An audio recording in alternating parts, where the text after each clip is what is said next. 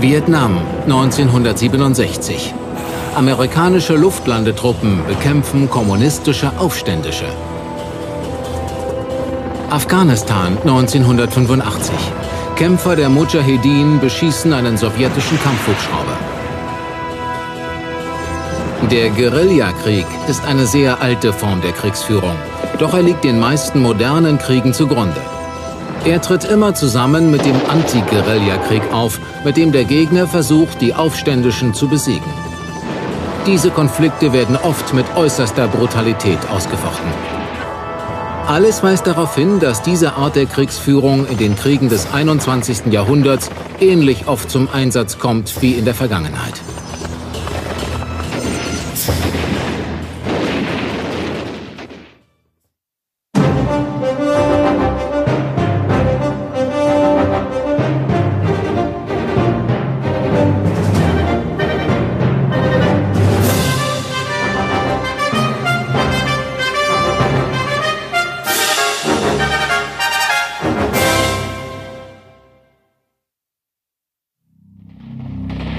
Vietnam 1962 bis 1975. Das Land ist in Nordvietnam und Südvietnam geteilt. Der nordvietnamesische General Vo Nguyen Giap braucht eine Strategie, um das Land unter kommunistischer Flagge zu vereinigen. Im Süden steht US-General William Westmoreland vor der Aufgabe, Giap entgegenzutreten und die Ausbreitung des Kommunismus zu verhindern. Afghanistan 1979 bis 1989 Sowjetische Truppen besetzen das Land. Afghanische Widerstandskämpfer organisieren sich, um sie zurückzuschlagen. Sowjetgeneral Viktor Paputin leitet die ersten Schritte bei der Übernahme des Landes. In den Bergen Afghanistans planen die Stammesfürsten und Kommandeure der Widerstandskämpfer, die als Mujahedin bekannt werden, den Guerillakrieg gegen die sowjetische Besetzung. Hinter den Kulissen beider Kriege findet ein gewaltiges Wettrüsten zwischen den USA und der Sowjetunion statt. Beide Länder haben riesige Arsenale modernster Waffen angehäuft und sind fähig, sich gegenseitig mehrfach zu vernichten. Aber in Vietnam und Afghanistan sind US-amerikanische und sowjetische Generäle wie Westmoreland und Paputin gezwungen, nicht mit konventionellen militärischen Taktiken vorzugehen, sondern einen Krieg zu führen, den es schon seit Tausenden von Jahren gibt. Der Guerillakrieg ist eine der ältesten Formen des Krieges. Hier kämpfen die Schwachen gegen die Starken. Er beruht auf dem Hinterhalt und gibt den Schwachen eine Chance auf einen Sieg. Im 20. Jahrhundert ist der Guerillakrieg nicht die Ausnahme, sondern die Regel. Der Grund dafür ist einfach. Nur wenige Staaten oder Organisationen haben die Mittel, eine moderne konventionelle Kriegsführung zu finanzieren. Während des Kalten Krieges wurden viele regionale Kriege direkt oder indirekt von den USA und der Sowjetunion unterstützt. In Vietnam und Afghanistan sind die USA und die Sowjetunion direkt beteiligt. Ihre Befehlshaber und die ihrer Gegner müssen die gleichen Grundbedingungen für einen erfolgreichen Guerillakrieg erfüllen.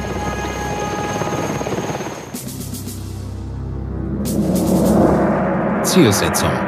Die Kommandeure beider Seiten müssen eine klare, eindeutige politische und militärische Zielsetzung haben.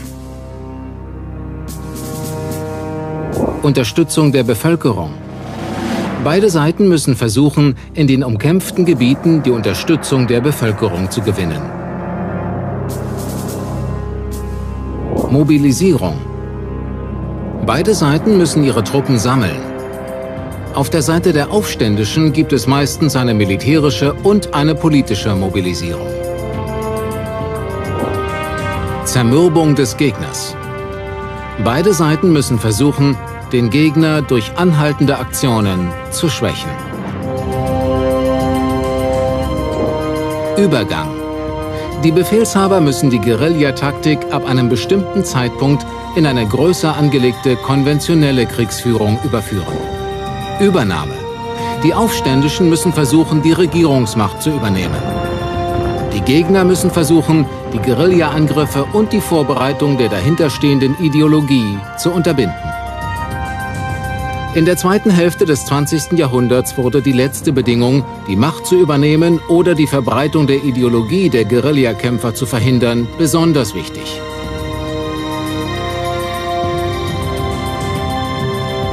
Guatemala, El Salvador, Nicaragua, Kolumbien, Peru, Kuba, Bolivien, Algerien, Nigeria, Angola, Tschetschenien, Rhodesien, Mosambik, Sri Lanka, Malaysia.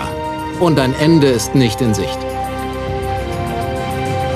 Aber alles beginnt mit der ersten Grundbedingung für einen Guerillakrieg. Zielsetzung. Die Kommandeure beider Seiten müssen eine klare, eindeutige politische und militärische Zielsetzung haben. Die Ziele dürfen nicht nur kurzfristig oder militärisch sein, sie müssen ein langfristig zu erreichendes politisches Ziel beinhalten. Vietnam 1961 Präsident John F. Kennedy schickt die ersten amerikanischen Militärberater. Sie haben die Aufgabe, die Regierung von Südvietnam in ihrem Kampf gegen den kommunistischen Norden zu unterstützen. Aber der Guerillakrieg in Vietnam hatte schon viele Jahre zuvor begonnen. Seit dem Ende des Zweiten Weltkrieges 1945 hatten die kommunistisch geführten Viet Minh einen Guerillakrieg gegen die Franzosen geführt. Ihr Ziel war es, die Franzosen zu vertreiben und Vietnam zu einem kommunistisch geführten Land zu vereinigen und der Einsatz ihrer Guerillataktiken ist eine bereits bewährte Strategie. 1954 hatten die Viet Minh und der General Vo Nguyen Giap die Franzosen in ihrer Festung bei Dien Bien Phu vernichtend geschlagen. Zur gleichen Zeit wird auf der Genfer Friedenskonferenz Französisch Indochina aufgeteilt. Laos und Kambodscha werden eigenständige Königreiche. Im Nordosten entsteht das kommunistisch geführte Nordvietnam. Der Südosten wird zur Republik Vietnam.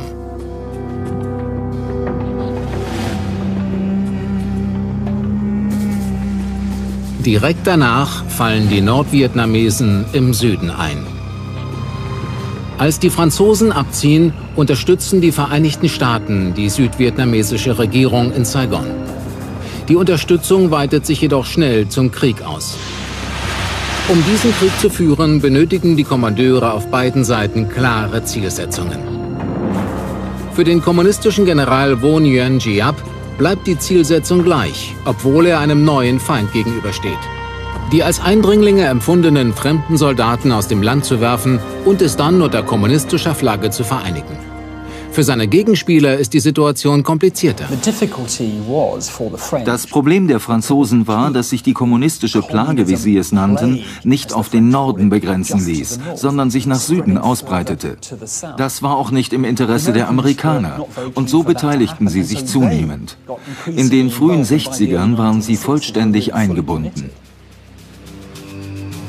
Dies ist ein amerikanischer Ausbildungsfilm über Anti-Guerilla-Kriegsführung aus den frühen 60er Jahren. Auch wenn die Amerikaner die ersten Schritte machten, die sie direkt in den Vietnamkrieg führten, ist den amerikanischen Kommandeuren bereits klar, mit welcher Art von Krieg sie konfrontiert werden.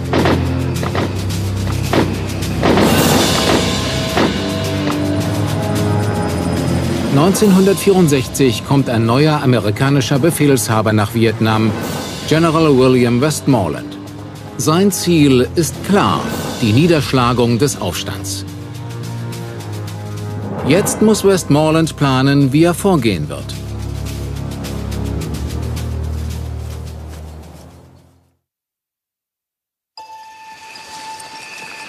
Er will mit seinen Truppen die Guerillakrieger aufspüren und mit seiner überlegenen Feuerkraft ausschalten.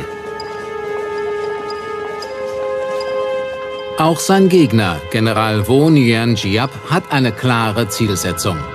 Alle ihm zur Verfügung stehenden Mittel zu nutzen, um die Amerikaner aus dem Land zu werfen. In Vietnam haben also beide Kontrahenten und ihre politischen Führer eine klare militärische Zielsetzung. Politisch hat Hanoi ein langfristiges Ziel, das Land zu vereinigen. Washingtons langfristiges politisches Ziel ist weniger klar. Nach der sowjetischen Invasion in Afghanistan haben beide Seiten ebenfalls klare militärische Ziele. Afghanistan ist durch seine Lage schon lange von großer strategischer Bedeutung. 1979 schicken die Sowjets Militärberater, um die Truppen der kommunistischen Regierung zu unterstützen. Bis zum Ende des Jahres wird aus der militärischen Unterstützung eine militärische Besatzung. Die sowjetische Zielsetzung ist eindeutig. Die Sowjets hätten dieses Gebiet gerne übernommen, um ihr Land besser an den Nahen Osten anzubinden, um ihn besser im Blick zu haben und zweifellos auch, um vielleicht einen Teil der Ölproduktion kontrollieren zu können. Für sie kam es einer Ausweitung des sowjetischen Imperiums gleich. Aber die Stammesfürsten und Warlords in den Bergen Afghanistans wollen die sowjetische Besatzung möglichst schnell wieder beenden. Ihre Zielsetzung ist eindeutig. Die Eindringlinge sollen wieder aus dem Land geworfen werden. Alle Kommandeure in beiden Kriegen haben also klare militärische Zielsetzungen. Die Sowjets in Afghanistan und die Kommunisten in Vietnam haben auch langfristige politische Ziele. Aber das langfristige amerikanische Ziel in Vietnam nach der Niederschlagung der Aufständischen ist unklar. Und ob das langfristige politische Ziel der Warlords nach dem Sieg über die Russen ein anderes ist als die Rückkehr zur traditionellen Stammesherrschaft, darf bezweifelt werden. In Vietnam und Afghanistan müssen die Kommandeure jetzt die nächste Bedingung für einen Guerillakrieg erfüllen. Unterstützung der Bevölkerung. Beide Seiten müssen versuchen, in den umkämpften Gebieten die Unterstützung der Bevölkerung zu gewinnen. Ein klassisches Beispiel, wie wichtig die Unterstützung der Bevölkerung sein kann, liefert der algerische Unabhängigkeitskrieg. Algerien war eine der ältesten Kolonien Frankreichs. Im November 1954 begann die FLN, die algerische Befreiungsfront, einen Guerillakrieg gegen Frankreich. Nur knapp 10 Prozent der Bevölkerung waren französische Siedler. Es war offensichtlich, dass sich die Franzosen um die Unterstützung der Bevölkerung bemühen mussten. Zuerst attackierte die FLN nur militärische Ziele und Regierungsgebäude. Dann tötete die FLN in Philippeville 123 Menschen. Die französische Antwort war hart. Nach französischen Angaben wurden 1200 Guerillas getötet. Nach Aussage der FLN sind 12.000 Muslime umgekommen. Im ganzen Land brachen Proteste aus. Mit nur einer Aktion hatte die französische Autorität die einheimische Bevölkerung gegen sich aufgebracht. Land und Städte wurden von einem Guerillakrieg ungeheuren Ausmaßes überzogen. Als die USA Anfang der 60er Jahre in Vietnam immer mehr in die Auseinandersetzungen hineingezogen werden, haben Kommandeure wie Westmoreland ein großes Problem. Sie erben einen Konflikt, der von der ehemaligen französischen Kolonialbesatzung zurückgelassen wurde. Die Kommunisten arbeiten schon seit Jahren daran, die Unterstützung der Bevölkerung zu gewinnen. Sie können auf den Patriotismus der einfachen Leute zählen, indem sie die USA als einen weiteren Eindringling darstellen, der eine Marionettenregierung unterstützt. Hinzu kam, dass der Kommunismus für die verarmten Vietnamesen verführerisch war. Um dieser starken Anziehungskraft zu begegnen, müssen die südvietnamesische Regierung und ihre amerikanischen Helfer zeigen, dass sie die kommunistische Unterwanderung verhindern können und beweisen, dass die Demokratie Stabilität und Wohlstand bringen wird. Und die Kommunisten helfen ihnen unwissentlich bei dieser Strategie. Die vietnamesischen Kommunisten errichteten in den von ihnen kontrollierten Gebieten eine Schreckensherrschaft. Trotzdem konnten sie viele Gebiete kontrollieren, weil die Amerikaner und Südvietnamesen nicht in der Lage waren, für Sicherheit zu sorgen. Ein weiterer Grund, dass man sich nicht um die Unterstützung der Bevölkerung bemüht, ist die Ansicht von General Westmoreland, dass die Sympathie der Bevölkerung eher unwichtig ist. Er sagte, packt die Aufständischen bei den Eiern, dann wird ihre Sympathie schon folgen. Für Westmoreland ist militärisches Handeln und nicht der Rückhalt in der Bevölkerung die Grundbedingung für einen Sieg im Guerillakrieg. Afghanistan. Als die ersten sowjetischen Truppen einmarschieren, müssen die Kommandeure entscheiden, ob sie die Sympathie der Bevölkerung als wichtig erachten.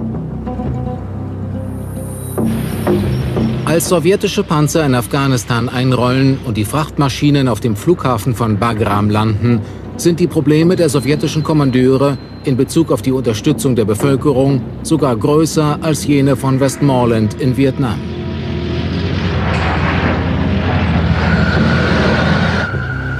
Die Sowjets werden nicht nur als Eindringlinge angesehen, sie haben der afghanischen Bevölkerung offensichtlich eine Marionettenregierung vor die Nase gesetzt. Das Ergebnis war, dass die Menschen vor den Sowjets in die offenen Arme der Mujahedin flohen. Der Versuch, eine Marionettenregierung zu installieren, stärkte die Mujahedin. Ähnlich wie die Amerikaner in Vietnam versuchen die Sowjets, die Unterstützung der Bevölkerung zu gewinnen, indem sie die Annehmlichkeiten moderner Zivilisation ins Land bringen. Sie bauen Schulen und bohren Brunnen. Doch dieser Versuch der Sowjets, die Sympathien zu gewinnen, wird als Angriff auf lokale Traditionen und Werte verstanden.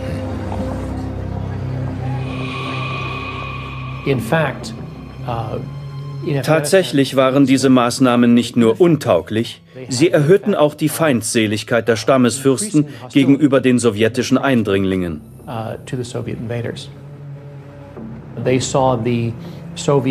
Uh, Sie empfanden die sowjetischen Modernisierungsversuche als Angriff auf die afghanischen Traditionen.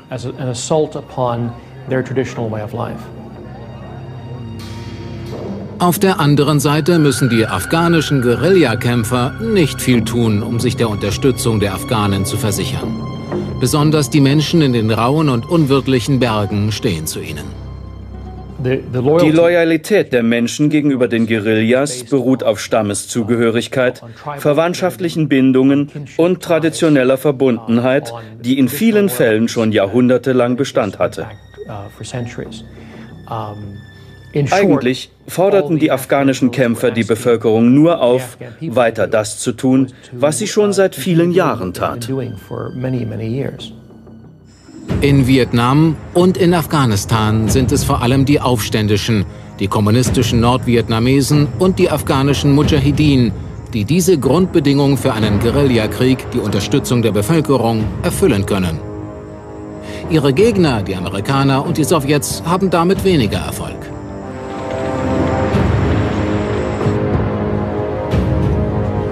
Beide Kommandeure verkennen die Gegebenheiten vor Ort oder messen der Sympathie der Bevölkerung wenig Bedeutung bei.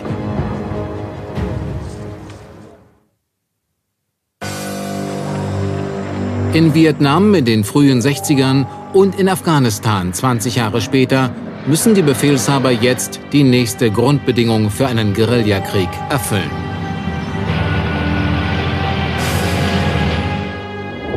Mobilisierung.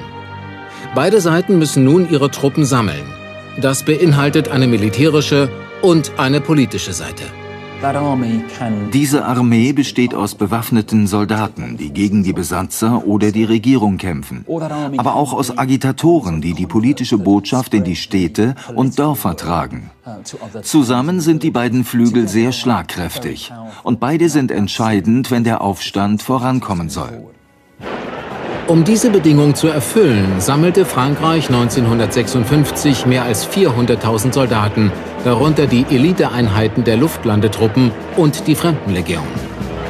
Zwischen 1956 und 1957 bediente sich die FLN klassischer Guerillataktiken wie Überfälle und Sabotageakte. Sie agierte aus der Masse der Bevölkerung heraus. Geiselnahme, Mord und Verstümmelungen waren alltäglich. 1957 teilten die Franzosen Algerien in Sektoren auf, die permanent von Truppen besetzt waren. Die Einheiten waren verantwortlich für die Niederschlagung der Aufstände in ihrem Gebiet.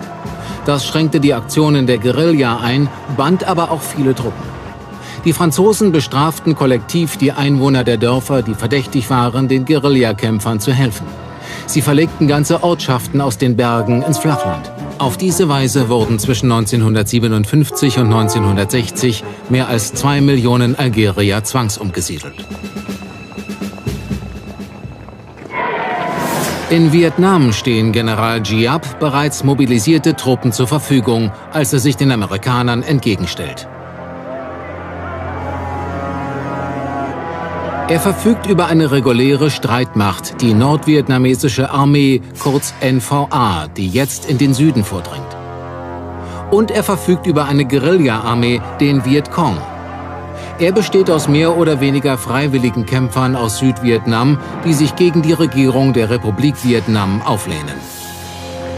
Beim Aufbau dieser beiden Streitkräfte profitieren die Nordvietnamesen wieder vom Kampf gegen die Franzosen. Es ist die gleiche Situation, durch die die Amerikaner und die südvietnamesische Regierung bereits beim Kampf um die Sympathie der Bevölkerung ins Hintertreffen geraten. Es gab eine Übergangsphase zwischen dem Rückzug der Franzosen und der Einflussnahme der Amerikaner in den frühen 60ern. Dieses Vakuum wurde durch die zunehmende kommunistische Infiltration des ganzen Landes ausgefüllt. Als die Amerikaner eingriffen, kämpften sie gegen viele Zehntausende neue Kommunisten. Und das konnten sie nicht bewältigen. Dieser militärische Vorteil von General Giap wird durch die politischen Aktivitäten der Kommunisten untermauert. Sie bildeten eine Armee aus Agitatoren, die in die Dörfer und Städte zogen. Zusammen mit den Soldaten stellten sie eine große und verführerische Macht für die lokale Bevölkerung dar. Und deshalb war die Armee der Aufständischen so erfolgreich. Auch General Giaps Gegenspieler, General Westmoreland, verfügt über zwei Armeen, die der Amerikaner und die der Südvietnamesen. Ab 1966 nutzt Westmorelands Oberkommando diese Streitkräfte, um eine zweigleisige Strategie zu verfolgen. Die Amerikaner bieten den südvietnamesischen Truppen Schutz, sodass diese sich auf die Sicherheit in den bewohnten Gebieten konzentrieren können, um die Sympathie der Bevölkerung zu gewinnen. Durch die Verbindung von Gewalt in Gestalt überlegener Feuerkraft und Beeinflussung durch die Erhöhung der Sicherheit für die ländliche Bevölkerung sollte der Einfluss der Kommunisten gebrochen werden und die südvietnamesische Regierung das Vertrauen ihrer Bevölkerung gewinnen. Afghanistan. In der Anfangszeit der Kämpfe mobilisieren die sowjetischen Generäle und die Führer der Mujahideen ihre Truppen.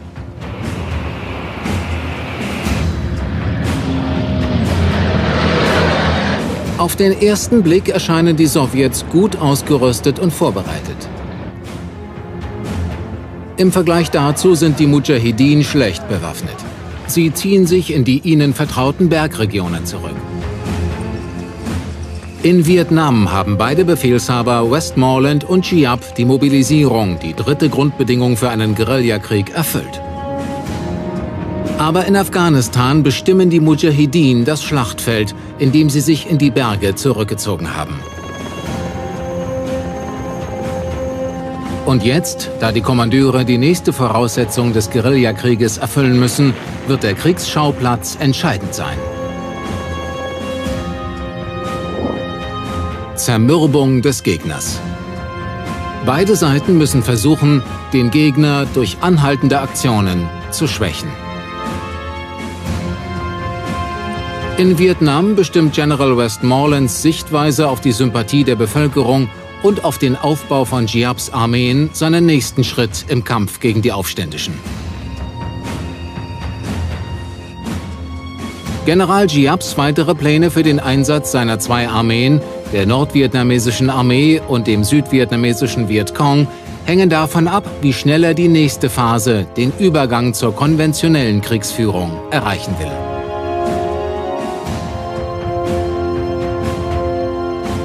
Bei der Wahl seiner Strategie muss Westmoreland die Unterschiede der zwei Armeen von Giap in Betracht ziehen. Und hier haben die Amerikaner und die südvietnamesische Regierung ein Problem. Sie mussten sich gegen die konventionellen Truppen Nordvietnams verteidigen und einen Anti-Guerilla-Krieg gegen den Vietcong führen. Westmoreland muss sich entscheiden, welche Art von Krieg er führen soll. Einen konventionellen Krieg, einen Anti-Guerilla-Krieg oder eine Mischung aus beidem. Den größten Einfluss auf die Entscheidungen von Westmoreland und seinen Stab hat General Giaps nordvietnamesische Armee.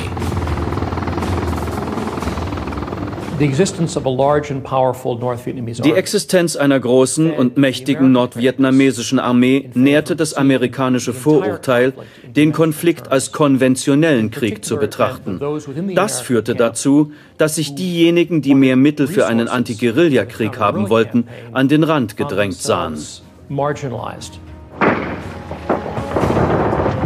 Auch die Mobilisierung der US-Truppen wird von dieser Sichtweise bestimmt. 1962, zu Beginn des amerikanischen Engagements, befinden sich etwa 2000 US-Soldaten in Vietnam. Bis 1969 sind es mehr als eine halbe Million.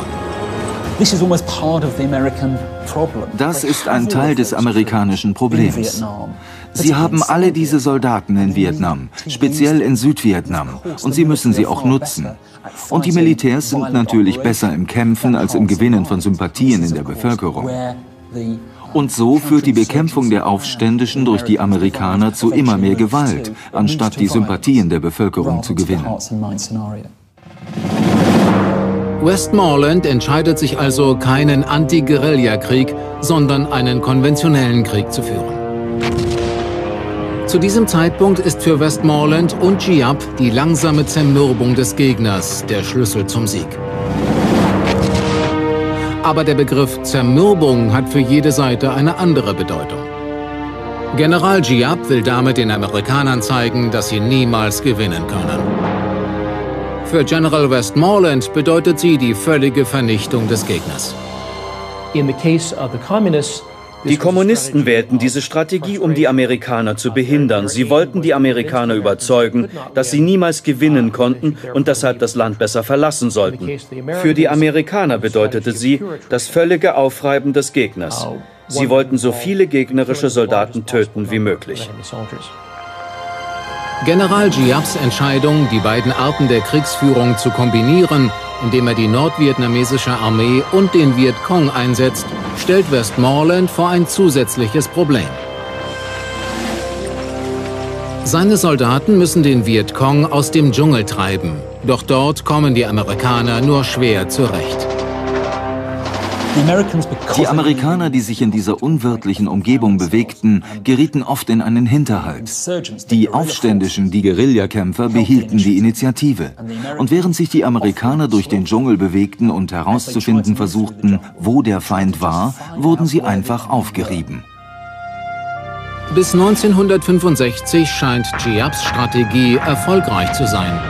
Aber in jenem Jahr begeht er einen seiner größten Fehler.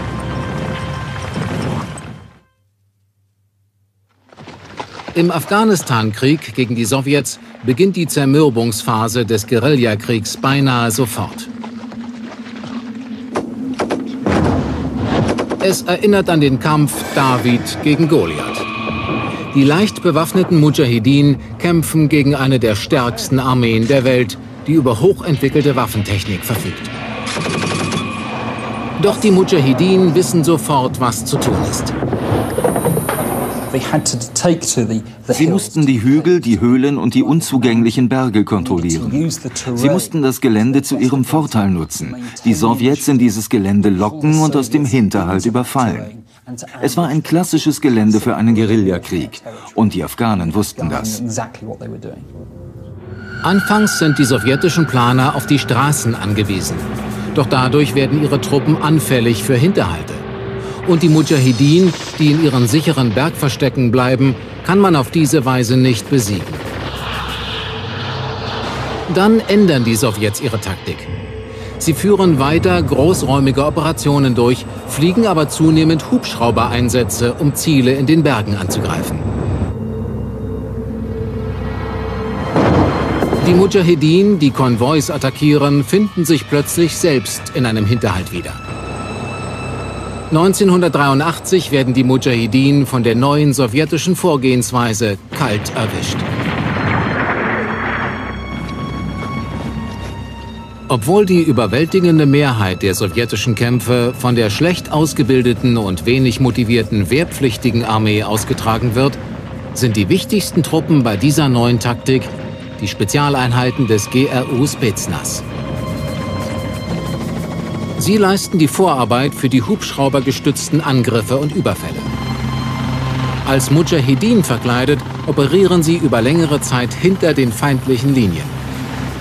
Sie sammeln Informationen und spionieren Guerillastellungen für Luftangriffe aus.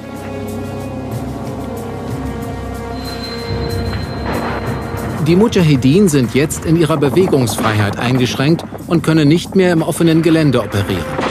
Angriffe aus dem Hinterhalt sind kaum mehr möglich. Es sieht so aus, als ob die Sowjets mit dem massiven Einsatz von Hubschraubern und Spezialeinheiten einen Weg gefunden haben, den Guerillakämpfern das Wasser abzugraben. Die Hubschrauber erlauben ihnen auch unwegsames Gelände zu erreichen und so den Feind aufzuspüren. Doch das wird sich schon sehr bald ändern. In Afghanistan Mitte der 80er und in Vietnam Mitte der 60er Jahre ist jetzt der Zeitpunkt gekommen, an dem die Kommandeure die nächste Phase eines Guerillakrieges einläuten müssen.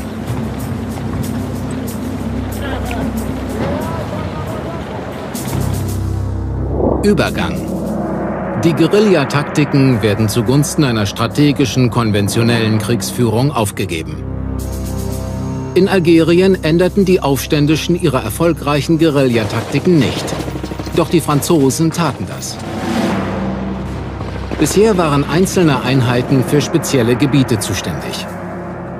Ab 1958 setzten die Franzosen regional unabhängige Truppen für groß angelegte Feldzüge gegen die Guerillakämpfer ein, sowohl in den Bergen als auch in der Stadt Algier.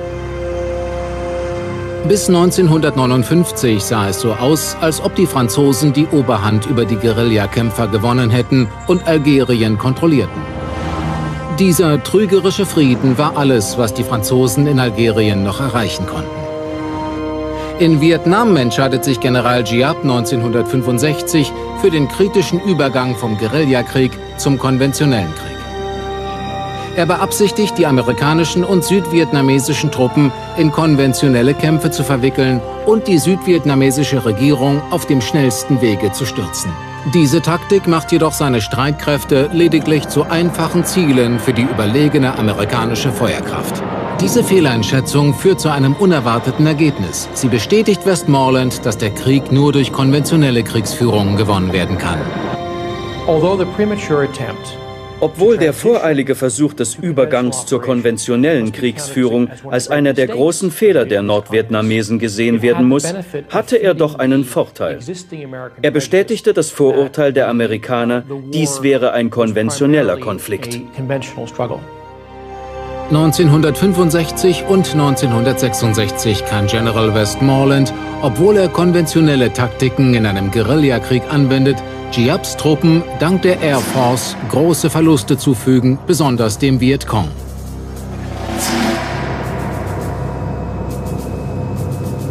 Nach der Schlacht im La Drangtal und nach der erfolglosen Belagerung des Stützpunktes Plaimé scheint sich Giap auf der Verliererstraße zu befinden. Er ändert erneut seine Taktik und entscheidet sich, seinem Feldzug jetzt eine neue politische Dimension zu verleihen. Er wird die Amerikaner und die südvietnamesische Regierung treffen, indem er den Krieg in Vietnam in die Wohnzimmer Amerikas trägt. 1954 gelang es General Giap, den politischen Kurs in der Region durch die Einnahme der französischen Festung Dien Bien Phu zu ändern. Dieser Sieg hatte einen entscheidenden Einfluss auf die Genfer Konferenz, die die zukünftige Aufteilung der Region beschloss. Nun nimmt Chiap eine Basis der US Marines bei Kesan ins Visier, um durch ihre Zerstörung zu zeigen, dass die Nordvietnamesen noch immer schlagkräftig sind. Doch die Belagerung von Kesan ist nur ein Teil von General Giaps neuer Strategie.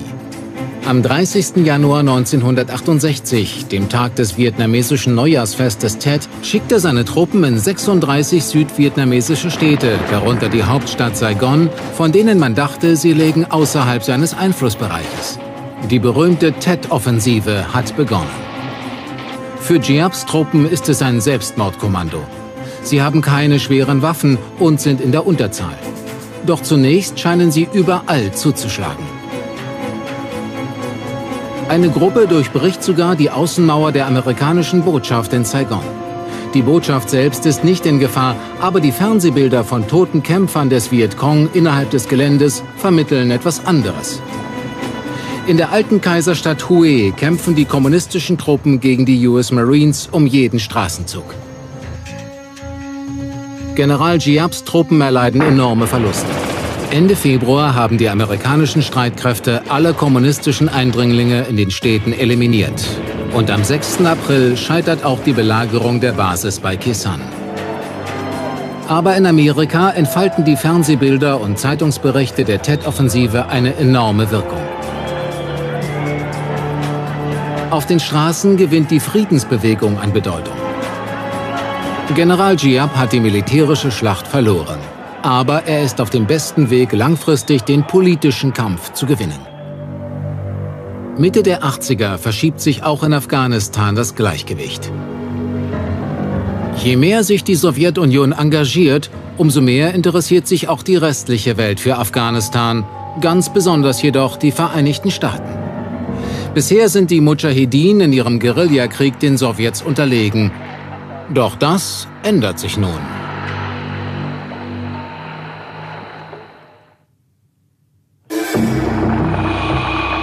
Langsam rüsten die Mujahedin auf. Sie haben jetzt Zugriff auf modernste Waffen. Sie besitzen Boden-Luft-Raketen, hauptsächlich aus amerikanischer Produktion, Raketenwerfer, Mörser und moderne Nachrichtentechnik. Und das zeigt auch bald militärische Wirkung. Erfolgreiche Überfälle auf sowjetische Konvois sind jetzt nahezu an der Tagesordnung. Die Amerikaner belieferten die Mujahedin mit Waffen. Und wenn man so will, kämpften die Mujahedin stellvertretend für die Amerikaner im Kalten Krieg. Das führte zu einer sehr gefährlichen Situation. Das ist die Waffe, die das Kräfteverhältnis in Afghanistan umkehrt. Die amerikanische Stinger, eine Rakete, die von nur einem Mann abgefeuert werden kann. Damit verlieren die Sowjets ihren größten Vorteil in Afghanistan, die Hubschrauber und damit die Mobilität ihrer Truppen. Der erste sowjetische Hubschrauber wird im Dezember 1982 abgeschossen.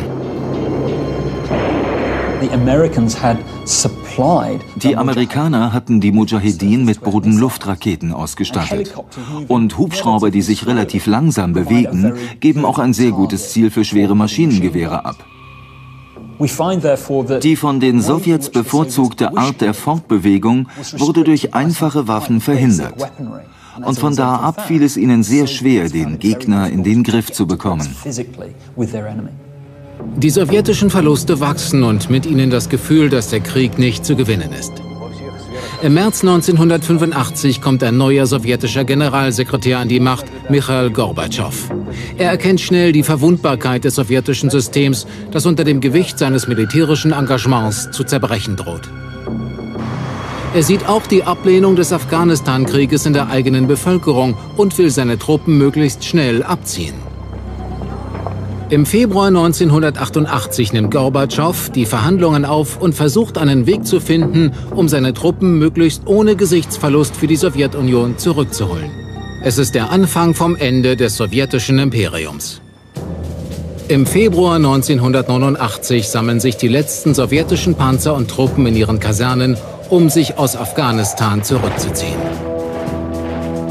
Obwohl Versuche gemacht wurden, dies als Ergebnis von Verhandlungen darzustellen, ließ sich niemand täuschen. Der politische Wille der Sowjetunion war gebrochen worden. Sie war von einem Gegner bezwungen worden, der nie aufgegeben hätte.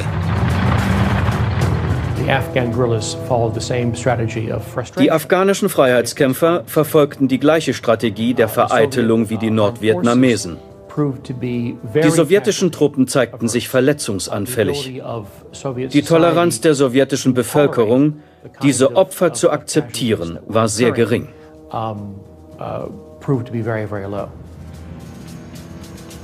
Die Warlords der Mujahideen haben gewonnen, bevor sie die vorletzte Bedingung des Guerillakrieges erfüllen müssen, den Übergang vom Guerilla zum konventionellen Krieg.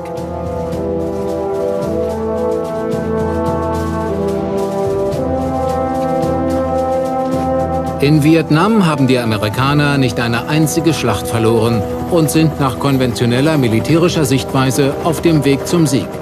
Trotzdem treffen auch die Amerikaner die Entscheidung, sich zurückzuziehen und an die Südvietnamesen zu übergeben. Wieder ist der Grund eher ein politischer als ein militärischer. In Washington, an den Schaltstellen der Macht, ändert sich die Stimmungslage. Die Wirtschaft bereitet Amerika Kopfzerbrechen, besonders mit der sich abzeichnenden Ölkrise. Auch im Kalten Krieg hat noch kein Tauwetter eingesetzt. Und die Friedensbewegung auf den Straßen Amerikas wird immer stärker. Die Vereinigten Staaten und die Menschen dort wollen den Rückzug aus Vietnam. Im Juni 1969 ziehen die ersten Bodentruppen ab. Der Großteil folgt innerhalb der nächsten zwei Jahre. Im März 1972 startet Nordvietnam seine erste landesweite Großoffensive seit der Tet-Offensive 1968. Anfangs kann die südvietnamesische Armee, unterstützt durch die amerikanische Luftwaffe, noch standhalten. Doch ein Jahr später, im März 1973, ziehen die letzten US-Truppen ab. Jetzt kann General Giap den Übergang zur konventionellen Kriegsführung einleiten ohne auf ernsthaften Widerstand zu stoßen. Die Kämpfe dauern weitere zwei Jahre an. Dann am 30. April 1975 bringen Panzer der nordvietnamesischen Armee in der Hauptstadt Saigon ein. Die letzten verbliebenen Amerikaner werden mit Hubschraubern aus der US-Botschaft ausgeflogen. Und die Nordvietnamesen erfüllen jetzt die letzte Grundbedingung eines Guerillakrieges. Sie übernehmen die Regierungsmacht. Auch in Algerien wurde das Ende des Krieges durch die öffentliche Meinung in Frankreich und durch internationalen Druck herbeigeführt, dem sich die französische Regierung schließlich beugte. Wie die Mujahedin in Afghanistan wechselte auch die FLN nie zur konventionellen Kriegsführung. Im Juli 1962 wurde Algerien unabhängig. Als Saigon im April 1975 fällt, wird Vietnam unter kommunistischer Flagge vereinigt. 14 Jahre später haben die Warlords in Afghanistan den Guerillakrieg gewonnen. Auch sie haben den Wechsel vom Guerillakrieg zum konventionellen Krieg nicht vollzogen. Nun stehen sie vor der letzten Bedingung, der Übernahme der Macht. Doch dem Sieg der Mujahideen über die sowjetischen Invasoren folgt keine Machtübernahme. Die Guerillaführer sind nicht in der Lage, ihren Sieg zu festigen, indem sie die Regierung übernehmen und eine effektive Kontrolle des Landes aufbauen.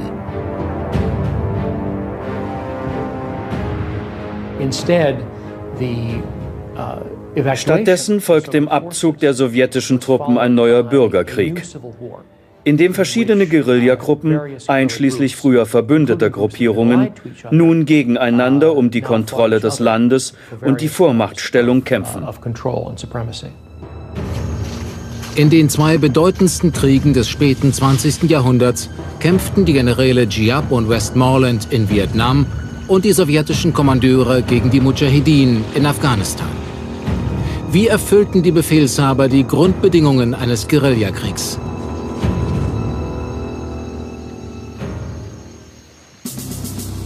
Zielsetzung.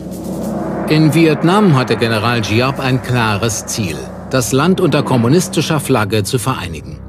Westmoreland hatte auch ein klares militärisches Ziel, die Ausbreitung des Kommunismus zu verhindern. Er hatte jedoch keine langfristige politische Strategie. In Afghanistan hatten auch die sowjetischen Kommandeure ein klares Ziel, den sowjetischen Einflussbereich zu vergrößern und zu festigen. Auch die Mujahideen hatten ein klares Ziel, den Eindringling zurückzuschlagen.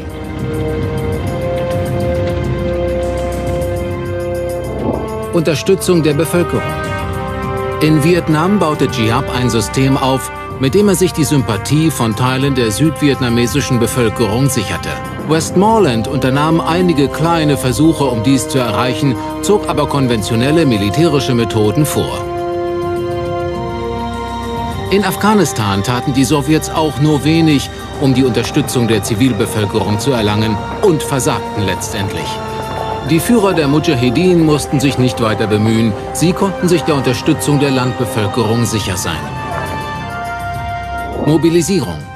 In Vietnam besaß Giap bereits seine reguläre nordvietnamesische Armee und die Unterstützung des südvietnamesischen Vietcong.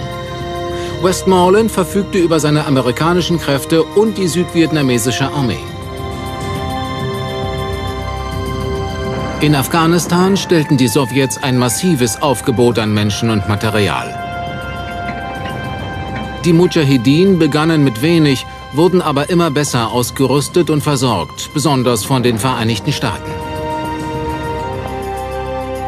Zermürbung des Gegners. In Vietnam versuchte Giap die Amerikaner durch die Guerillataktik zu zermürben, um sie zum Abzug zu zwingen. Westmorelands Definition von Zermürbung war eine andere. Er wollte möglichst viele nordvietnamesische Soldaten und Kämpfer des Vietcong töten. In Afghanistan schienen die Sowjets ursprünglich diese Voraussetzung zu erfüllen, besonders weil ihnen ihre Hubschrauber mehr Bewegungsfreiheit verschafften. Sobald die Mujahideen jedoch neue Waffen erhielten, speziell die Boden-Luft-Rakete Stinger aus amerikanischer Produktion, begann ihr Siegeszug.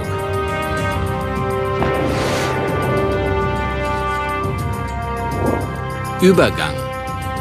In Vietnam verlor General Giap beinahe den Krieg, weil er zu schnell vom Guerilla zum konventionellen Krieg wechseln wollte. In den letzten Tagen nach dem Abzug der Amerikaner erfolgte ein schneller Übergang, dem die südvietnamesische Armee wenig entgegenzusetzen hatte. In Afghanistan hatten die Mujahideen keinen Grund, vom Guerillakampf zur konventionellen Kriegsführung überzugehen. Übernahme. In Vietnam wurde das Land sofort unter kommunistischer Flagge vereinigt. In Afghanistan kehrten die siegreichen Führer der Mujahideen zur alten Ordnung mit Stammesfäden und Konflikten zurück, anstatt zusammen das Land zu regieren. Das bereitete den Taliban, Al-Qaida und Osama bin Laden den Weg. Viele Konflikte in der zweiten Hälfte des 20. Jahrhunderts wurden durch einen Guerillakrieg entfacht. Und es scheint unausweichlich, dass sich dies im 21. Jahrhundert fortsetzt. Solange strategisch Schwächere einer starken Macht gegenüberstehen, wird der Guerillakrieg seine Berechtigung haben. Er gibt dem Schwächeren die Möglichkeit, einen verheerenden Schlag gegen den Stärkeren zu führen. Egal, ob es im politischen Zusammenhang eines Aufstandes passiert oder ob es um die Bekämpfung einer Invasion geht. Der Guerillakrieg ist eine der einfachsten Formen der Kriegsführung. Selbst heute beruht er auf dem einzelnen Kämpfer, nicht auf der Raffinesse der Waffen.